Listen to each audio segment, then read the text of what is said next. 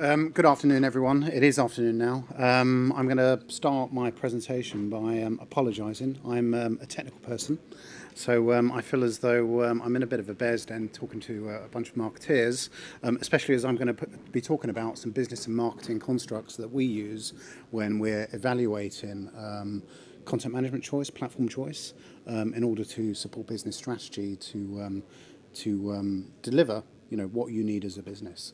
So it's and, and this is this is born from experience of, of working with um, clients. I've worked in digital for quite a few years. Um, I started out in digital in '96. I moved from um, the uh, rather seedy world of advertising publishing, so um, old school advertising. And um, I moved into digital, and it was uh, quite new back then. Um, ironically, Reading Room were formed about the same time, although I didn't start my journey in digital with Reading Room. I started with a couple of friends in a um, in a in a room in Beckenham, um, and uh, look where it look where it got me now. Um, so it's lots of experience in digital, um, and um, as I said, I'm, I'm going to talk about some of the things that we like to consider um, for platform choice, and as a bit of a introduction to Reading Room. Reading Room have been around for about 20 years. Um, and really, one, it's not a USP because more and more agencies are doing this nowadays, is, um, is we like to look at actually what's the business problem we're trying to solve. Rather than just taking a brief from a client and say, the client says, I want a website that does X, Y, and Z, it's actually, let's challenge that. Let's actually understand what business problems are we trying to solve? And sometimes that means we actually have to dig into the business problems because the clients aren't always aware of them. And we have to be sensitive to that as well because you don't want to come in looking like you know some sort of arrogant consultant saying, do you know what, you haven't got, you guys haven't got a clue. This is what you should be thinking about. So it's a, it tends to be a, a journey that we go on with with our clients. Um, we're part of the Idox group. We got acquired um, last year. Idox are a portfolio company. They, they're mainly in public sector um, public sector software. Um, and um, you know, I've been over my years. I think I've been involved in three acquisitions, and this is the only one where the company that's been acquired, which has always been the one I've worked with, um, hasn't exploded. So this has been a really positive um, acquisition from the perspective of Reading Room. Um, we're 120 staff, staff and as I'm a divisional head, um, I run a multidisciplinary team, and we have several of those across the business. Um, I'm actually here today to talk on behalf of Kentico. Um, Kentico are a sponsor. They've asked Reading Room as a gold partner to talk about Kentico. So I'm going to be talking about Kentico a lot and telling you how wonderful it is as a product. Um, and it's going to be sincere. Um, I, Reading Room, work with a number of content management systems. And one of the things that we are really keen to do whenever we engage with clients is actually identify, you know, what is the right platform for them. Um, sometimes the platform they think they want because it's, you know, it looks good on the Magic Quadrant in Gartner isn't always the right platform for them. So what I'm going to talk about in the presentation, and some of this was covered in the um, session right at the start of the day, where the, where the panel, the expert panel, were um, giving opinions about different things, is is really, um, you know, what does, you know, what do you need to be um, thinking about from a um, from a maturity perspective? Where are you? How mature organisation are you digitally? Um, how does this fit in with your customer lifecycle, and what, what's your current engagement with your customer lifecycle look like? And then how do how do you be pragmatic about um, implementation? Um, and some of this was touched on as well. It's about you know making mistakes quickly, iterating, learning your lessons, and progressing. Um, and finally, really, you know, let's look at a content management system and uh, think about, you know, what can it do for us as an organization and what's it like to live with. Um, quite often, um, content management systems, digital projects can start out a, a, bit as a bit of a vanity project for an organization. Um, and you don't really think about how we're going to support this behemoth that we've built um, moving forward. So it is all about maturity and it is all about understanding, you know, where you are as an organization um, to um, to to in, in order to make sure that you engage with your your clients in the right way. If you, you if you start at the wrong point. Um, and you think that you're actually more mature than you are, you're likely to make mistakes. Um, you know, you don't jump a, if you jump a red light, you're likely to, you know, the, the, best outcome is probably your stall, or the worst outcome is you have an expensive car crash. And it's the same with digital. You need to make sure that you, you take the right approach at the right time.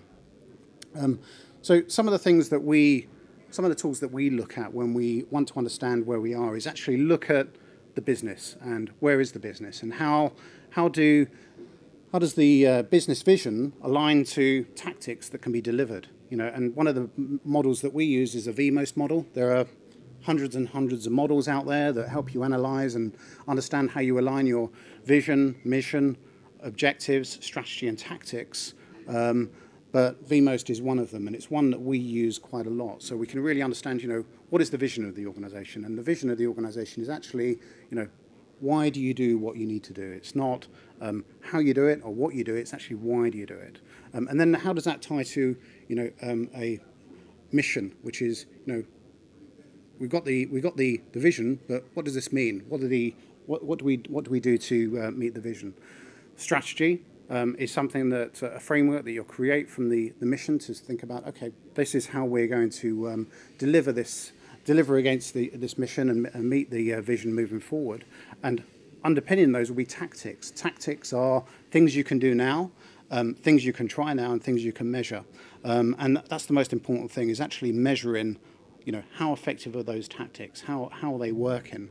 Um, and part of that is by always reviewing you know, if you're using a VMOS, uh, VMOST model, which we do with quite a few clients where they don't have a, a, model they use themselves, is, you know, how are we doing? How, how was that tactical delivery? How did it work against the strategy it was, it was put under? And how can we, how can we improve that? One of the big constraining factors, and you can see I've used a Trumpism here, um, is, is, you know, obviously budget and time. You know, um, it's it's great that you want all the toys in the shop, but you know, do you have the budget for it? And um, you know, do, do, you actually have the time to play with them? It's those are the sort of things you need to think about. And actually, there's a really strong argument, and something that we always talk about to clients about is starting simply.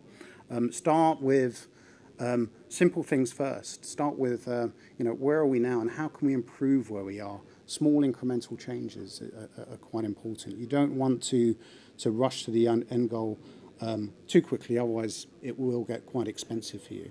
Um, learn from your lessons. If you, if you can start off something simple with a small budget and you can prove success and you can prove that actually it's returned on your investment, then it's going to be easy to go to your, your stakeholders and get more, more, more budget, isn't it?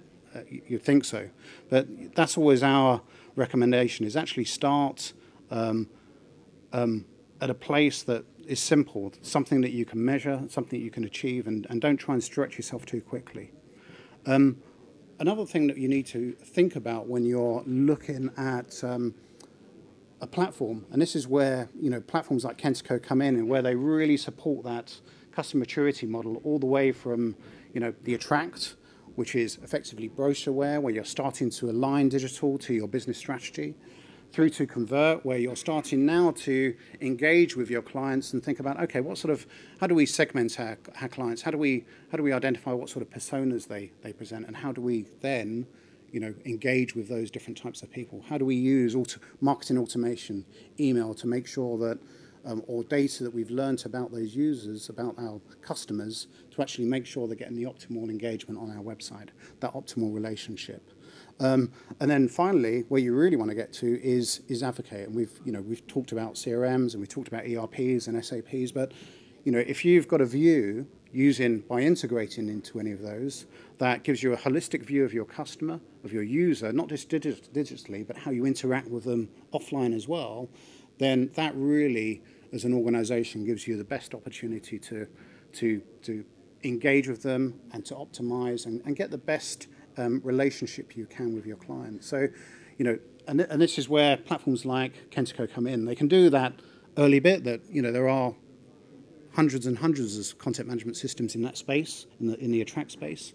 They can support the convert space. So, you know, as you, if this is where you are at the moment and you want to, excuse me, and you want to uh, move to the convert phase, then you know Kentico will help you move in that direction, and then finally to the advocate phase. But it's it's a platform that's scalable and will support you no matter where you are starting on that um, on that in, uh, customer experience maturity model. So it is you really need to think about being mature when you're starting out your digital. It's it's about thinking about um, you know where are we now, understanding and being honest with yourself. What what are we doing as an organization and what's our strategy for actually developing that and actually understanding where how you're engaging with your clients your users um, at this point in, in the relationship So key takeaways from this part of the presentation is, is, is how you align your business um, strategy and objectives and tactics to the content management system you're going to use. Making sure that you've got a content management system that not only supports your immediate tactical objectives, but actually, what, what, where do you want to be in a few months' time or a few years' time? Um, and what are the constraining factors with, for you as an organization? Is it the size of your team? Is it your ability to create content, which um, uh, someone earlier talked about the fact it's actually you know, something that takes a lot of effort? Um, is it the way you're working with your customers? What are the constraining factors? And embrace those and understand them because those should be your starting points. Those should be the, the points where you think these are the challenges we have. How does our platform selection actually help us to, to move forward and to um, engage better and create those relationships with our clients? Something else you probably need to, you, you should consider, not probably, you should consider as part of your um, platform selection is, is how does it fit with your customer lifecycle? Um, how does it work with the way you're currently engaging with your customers? And when we looked at this uh, customer maturity model, this can apply to different parts of your customer your customer lifecycle. It may be that actually um, the attract bit, the raise awareness of your products or services, you're really strong in but you may be a bit weaker in actually where, how, do you, how do you engage with the clients at a transaction stage or beyond that at the engage stage. So compare the, the, this model, this maturity model could be faceted to different parts of your, your, your customer life cycle. I've got a very simple customer life cycle here, and I'm, I'm just going to talk it through with you very quickly. It's again, you know, I'm not a marketer, but you know, I want to talk about how um, digital should support this. So awareness, um, awareness, typically, this might be, um, let's play with the scenario that um, your site is, is well structured, you're using well structured data, well structured content, um, and, it, and it appears well in natural search. So someone finds about, out about your product or service using natural search on Google or Bing, they come to your site. And because now we have data about that user, we know how they arrived at your site, we might even have some information about other information about that user, whereabouts they're based, um, what um, you know any any browsing history that we're aware of because they might have come to the site at a previous time and we've we started collecting data on that user already we can start to personalize and tailor the journey specifically to what they're looking for. And hopefully set the right cues the right triggers in order to encourage them to make that purchase. Once they have purchased they're actually engaged with you but how do you further that engagement you know, is it through um, using the Kentico email marketing platform where you can email the clients and say, hey, you're using this product, here's some add-ons. Why don't you think about using these add-ons to actually make your experience with our product or service better? Or providing training. Have you thought about using your product in or this product or service in this way? Um, here's a here's a video about um, how someone else is using it successfully, um, and by you know making sure that you're completely engaged with your your user digitally, then you ideally, you create advocates, and those in turn lead to repeat purchase, or in turn, um, they will tell other people about your products and services and um, ad, act as advocates for you. To support this, I'm going to just talk about a couple of Kentico projects, um, Kentico sites that we've delivered, um, and um, at a very high level, just um, talk about specifically on the different parts of the customer um, customer lifecycle, how they've used Kentico to their advantage. So I'm going to start with Lombard International. They're, um, um, they're a wealth management company, so they deal with high net worth individuals, not probably as high as, um, as uh, Citi Private Bank, but that's, that, that's how they work. They got acquired by a company called Blackstone um, um, about two years ago. Um, last year, Blackstone acquired another company called uh, Philadelphia Insurance, based in the US. Uh, Lombard are based in Luxembourg. Um, and um, they decided that they were going to put everything under the Lombard umbrella. So we were already working with Lombard whilst all of this acquisition and change was going on. Um, and Lombard, um, they work through partners. They don't deal with the high net worth individuals directly. They work through partners. So one of the challenges they had is how do we get our messages out to our different partners that actually our service, our offering has broadened, but also the markets that we can operate in has broadened as well. You know, we now have a uh, a footprint in, in, the US, whereas before they were very much Northern European focused. We now have um, capability in, in the Middle East and Southeast Asia. So you know, they needed to find a way of delivering this message. And the way they did this is they used the Kentico marketing platform to educate and raise awareness of their products and services. Um, so that, um, you know, as part of their conversations with their clients, they're able to talk about, hey, this is what Lombard are doing. Or if they've got clients in, in some of the new markets that they're currently not talking about Lombard products, then they're able to do this. Um, the other nice thing about the, uh, the implementation we did for Lombard is because Kentico out of the box is actually really simple to use. It's, it uses a modular approach. It's very drag and drop. Um, when the decision was made to incorporate the um, Philadelphia insurance service into the same brand, they were able to do this with actually no support from Reading Room as their development partner.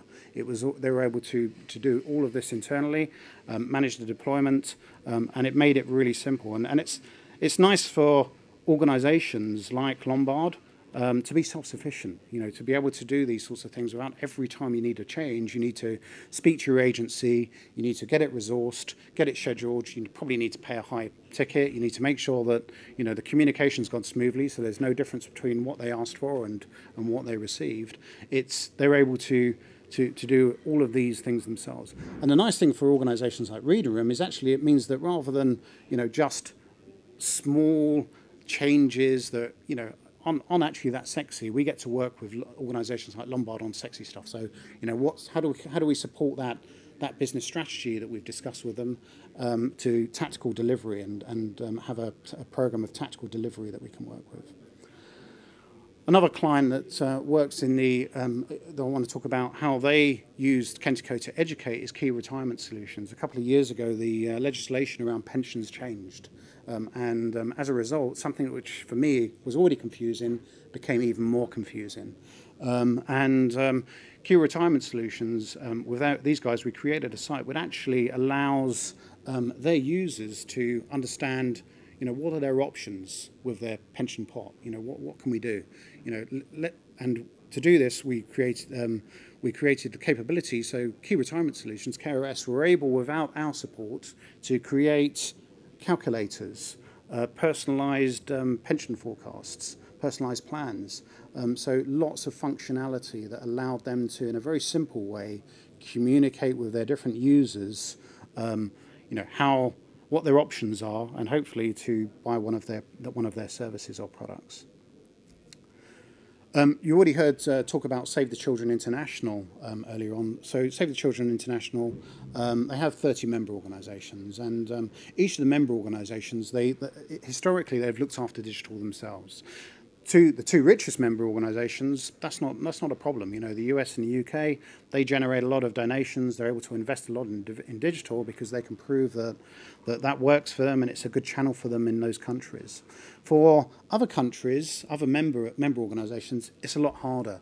You know they may not be technically able to um, implement um, a good digital strategy or might not have the budget so Save the Children International, who's the central body that manages Save the Children UK, Save the Children Bolivia, Save the Children Australia, um, have come up with this, this program where using the Kentico platform, we're able to very rapidly roll out um, changes that their members can, can, can, can take advantage of. Um, a good example of this is, um, you know, we worked with um, a local payment provider in uh, Mexico and another one in India to make sure that, um, you know, those members were able to take donations online. Um, using Kentico. So we created a, a, an MVP, we tested it, we iterated it, um, we made some mistakes, we learned from those mistakes, and um, and then we've this is now live. So if you go to Mexico or India, it's using the Kentico platform. And now this is something that ever other members can, can take advantage of. Um, let me tell you that, um, you know, having worked with a payment gateway provider in India and a payment gateway provider in Mexico, I'll be interested to know if any of them could be more difficult than, than those two were to, uh, to implement with. But it's, it, again, for Kentico, it's, it's proved a really good point about how easy it is to very rapidly deliver um, um, products and services online. Um, we worked very closely with the Save the Children team, um, who are based um, in London, um, and um, you know they're able to roll this out independently. So we support them with our areas of expertise. Um, they then implement, we test, and then we iterate. So it's been a very successful program for them, and something that um, is on their roadmap for you know creating efficiency and improving engagements across the uh, many countries they they work with. We started working with Kingspan about a year ago. Um, the uh, site's due to go live in uh, November. We're using the Kentico platform for them, and it was quite an interesting challenge with uh, Kingspan in as much that um, they're in they're in about 175, uh, sorry, 120 different countries, um, and they sell products. Um, and the way they traditionally did that, the building products, is they sold it by the the way the business was organised. They're basically split into four divisions. Um, the um, and the divisions like that. You know, it meant that they could talk about their products. It meant that they could own their relationship with um, with their clients. It meant that they could present the brand, the products, um, and um, have those conversations um, at a regional relevant level. You know, the way you transact business or talk about, or, you know, manage your content and present your content in Germany is very different to the way you might in the US, for example. Um, so it allowed them to be very regional relevant for their content. Um, the challenge was how do we get all of these uh, websites, there's 175 of them, onto a single platform? And what we quickly identified is actually as a, as a user, um, you don't care that Kingspan is structured into four divisions. You want to know if I'm in the Czech Republic and I want to, um, I've got a building challenge that I need I need support on. You go to Kingspan in the Czech Republic and you can find the product that you need from across their many divisions. Um, and kudos to Kingspan. It's a, it was a bit of a, a change for them, but it's something they've they've they've accepted. But where Kentico support this, supports this is it's allowed us to be um, because of its modular nature, we've been able to introduce a pattern library approach. So we create content components. Um, and those content components, um, you can then decide which of those you use on, on different types of pages. Um, and you can manage your content very much separately from the uh, presentation layer. Um, the other advantage of this is, is as well as being able having flexibility about what content and what conversations you have at a regional level, is that um, some of the Kingspan brands are, are, don't have any Kingspan logos on them. Some of the Kingspan group companies are totally independent. A good example of this is a Belgian company called Eurocida, who um, last year for a trade show they decided that um, they wanted to switch from their existing uh, CMS platform to Kentico. Um, because you know um, Kingspan Group were already paying for it. It saves them a lot of money. Um, so very quickly, in a very short space of time, we were able to build and deploy a site um, in Kentico for a for a German trade show for this uh, Belgian company, and now that's the you know the first of the sites that's using that, and it looks completely different from the other Kingspan branded sites. But this approach does allow Kingspan to make sure that they're controlling the brand, have control over the presentation, whilst not taking away the flexibility to engage with their local audiences as they like. Some of the other things that we did with Kingspan as well is um, they're um, when we started working with them, we found out that they had about 60 or 70 instances of different CRMs, you know, Dynamics, SAP CRM, um, Salesforce. They love Salesforce in the US. Um, and, you know, of course, that, that leads to a challenge of how do you create an API for 60 or 70 different CRMs? Well, you know, that's, you don't. That's a bad, that'll be a bad move. You need to actually keep things as simple as possible. Otherwise, you've got this bit of um, connection to your website that you're always having to maintain every time something something changes there. So we, we came up with a solution where we actually use Dynamics to communicate directly with the website, um, and then you know those business units can decide you know how they interact with that instance of Dynamics. So it's been a it's been a, a very successful project for them. Um, and the pattern library is something that um, you know we use in more and more across projects, just because it gives that flexibility, that scalability, and you're not tied down to having specific bits of content in in um, in a in a page template. It, it, it gives you that that flexibility, and it's it's a real strength of of, of Kentico. So some of the takeaways from this segment is that you know Kentico does support the entire customer lifecycle um, no matter where you are. But you know, it comes with the caveat is you need to understand how we engage engaging with our clients at those different parts of that customer life cycle. It's very scalable, so you can start simple um, and then build on that, that, that build on what you what you've got to something that's um, actually meets your strategic goals through tactical delivery. Um, and it's really easy to use. It's um, of all the content management systems I've I've, been, I've used over the years, Kentico is by far the easiest. It's, um, It's what I like about it is it really does give organizations the um, the ability to actually take control of a lot of digital yourselves rather than have to be um, at the you know constrained by what's your what's the capability of your implementation partner to, to do things. It actually frees frees you up to make decisions about you know I want to build a new workflow for this um, for this um, email marketing that I'm doing, and I want to plug it into this one into Dynamics, or I want this one to go to uh, another another system. It, it allows that level of of functionality just through drag and drop. It's a very simple CMS to use. We need to be pragmatic about implementation, um, and some of this again was touched on earlier in the day when we were talking about, you know, make mistakes um, learn quickly, and then uh, pivot and adjust. Um, and um, and that's a that's a, a recommendation that we we always encourage our clients to to take. Be agile in the way you deliver digital. Don't think this is the end goal. This is what we want. Here's a 12 month plan to deliver that end goal. Because between now and 12 months later, your business is going to change and you need to be flexible. You need to have a, have a way of approaching that. So the MVP, the prototyping approach, is something that we, you know, we really do encourage. It's something that we, we engage with. Um, not all clients are, uh, or all projects actually are, uh, meet that. You know, we work with a, um, a national home builder. They're very old school IT. They're very um, ITIL. They're very much about process and documentation. You know, the way that agile approach wouldn't work for that client. They just it just it would break the relationship with them. So you have to find the right process that's pragmatic and works with you as an organization. this is a typical approach that we like to, to take. And, you know, the nice thing about it is, is you, can, you can make assumptions, you can experiment. Um, and with Kentico, you can carry out its experiments on your production site.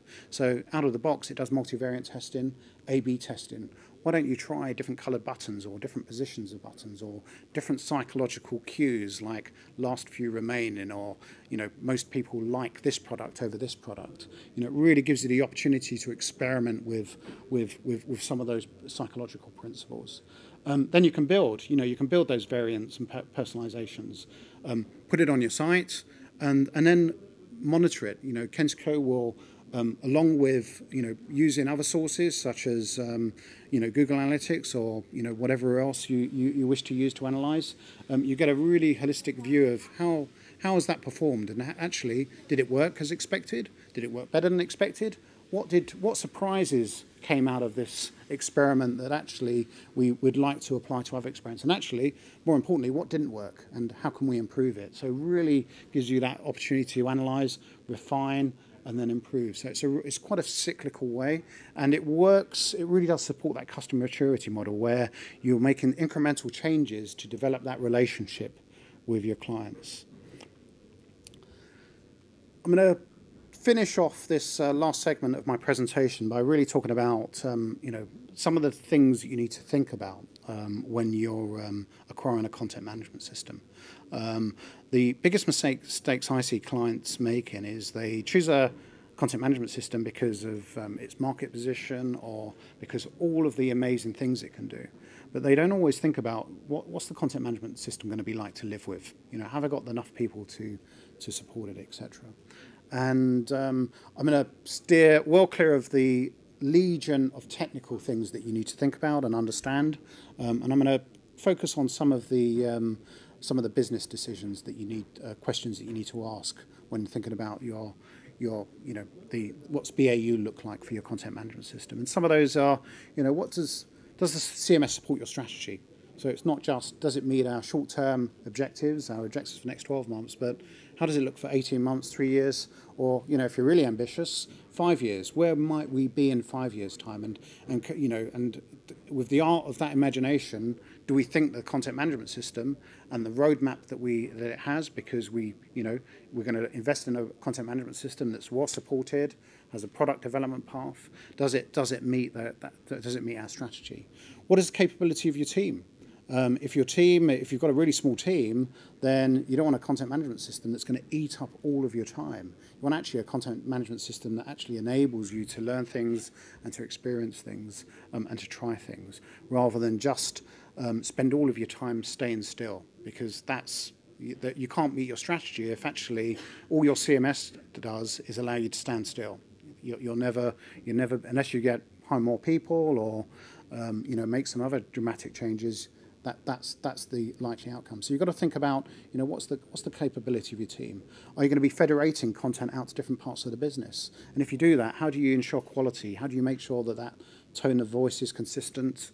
Um, that um, the um, the um, the the messaging is right, it's relevant to the audience that you're you're you're presenting it to. If you're a global business, you know what you know what how are you going to live with that?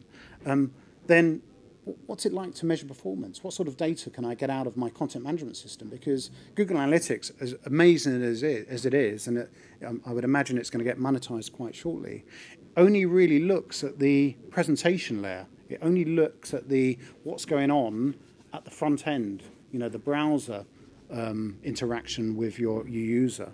And wh where products like Kentico come in is it actually starts to help you think of what's going on in the application layer. What do those data transla transactions look like?